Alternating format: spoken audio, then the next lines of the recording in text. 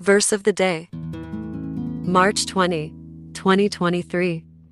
But what things were gained to me, those I counted loss for Christ. Yea, doubtless, and I count all things but loss for the excellency of the knowledge of Christ Jesus my Lord, for whom I have suffered the loss of all things, and do count them but dung, that I may win Christ. Philippians chapter 3, verses 7 to 8.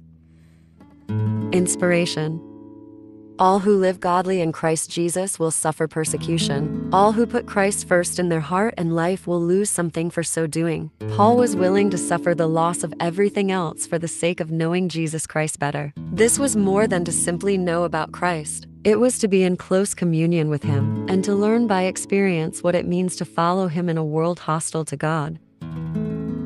Let us pray.